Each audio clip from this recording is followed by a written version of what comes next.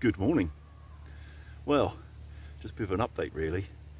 I've been away on holiday, so there's been no videos uploaded for about three weeks. Sorry. But all being well, next weekend, out camping. Now, there'll be two new things I'm going to feature in next week's video, all being well, as long as the weather's not horrendous, you know. Um, both of which I'm going to use on that camp, but I'm not going to go into massive detail. Uh, and the reason for that is I want to test them properly before giving you my, you know, thoughts on the thing. If they work out well, I will do a standalone video for each item at a later date. Once I've had the time to really sort of absorb what it's all about, how well it works, things I like, things I don't like.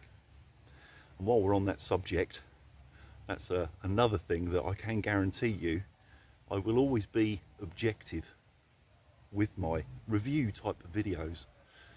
You see so many videos out there where people get sent a piece of kit and instantly, first time using it, it's the best thing ever. And these people just want to build a relationship with that company and get more free stuff basically. That isn't me. Um, whether I get it free or not, I will tell you exactly what I think. And I think people are starting to realise this and it's partly, not everything, but partly why suppliers don't send me stuff. Only the brave ones. If it's great, I'll say it's great.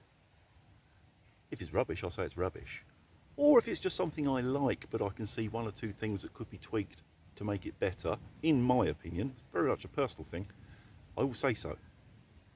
And some suppliers just don't even answer after doing that type of video.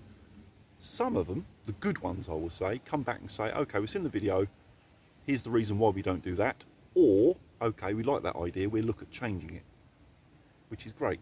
It's great to get that sort of feedback.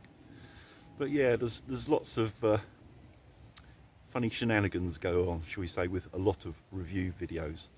I try to just keep mine simple to the point and honest.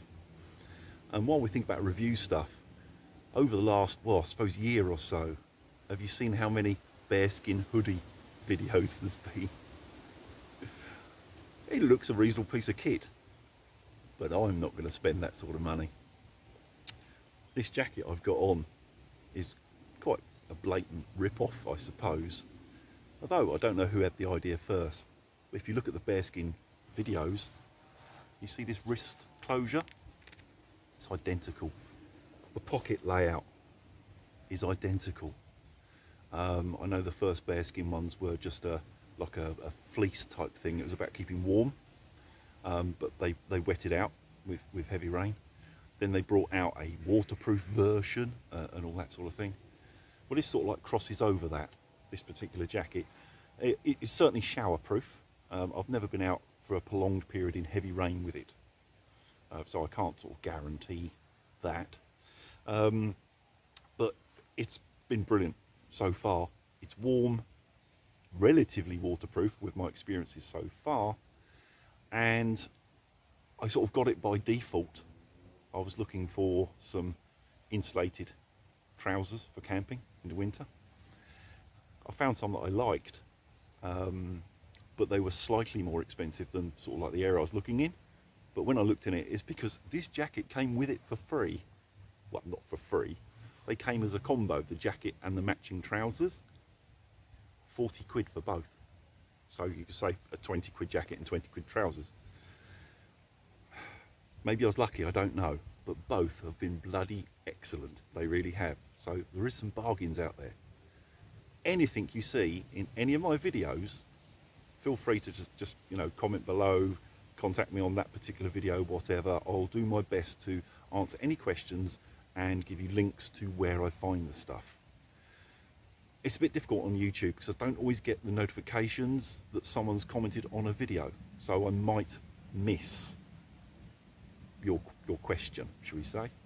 Uh, the ways round this, I do have a Facebook group, um, which you could message me through if you wish. Um, I can also I can stick my email underneath here. You can email me. I'll do my best to answer your questions or give you links to where I find the stuff. Right, so I think that is about it. That is my update for today. I only got back last night from a fortnight's holiday. It was a long trip and I was bloody knackered and I'm still tired this morning. The house uh, we rented um, on Madeira, we left there about 10 o'clock in the morning. I got through my front door 9 o'clock last night. It was a long day, it really was, but a very enjoyable holiday. I feel rested apart from the travelling back. So, here's going forward. We should be camping next week. New stuff to have a look at.